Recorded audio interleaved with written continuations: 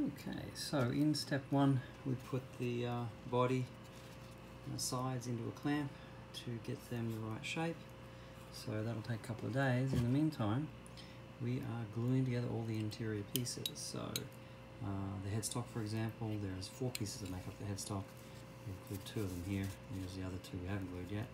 We're just working our way in. Uh, we've used uh, pins where the tuner holes were to help line up the pieces. So bulldog clips hold all together. Uh, Max and I did quite a lot of pieces today and I'm just finishing up a bunch of these little fiddly pieces. Uh, once we've done all these interior pieces that make up the, uh, the ukulele, we'll start some of the rough assembly in step three. Um, so in the meantime, I'm just going to keep putting these all together and uh, I'll see you in step three. We'll start to get something that looks a bit more like a ukulele.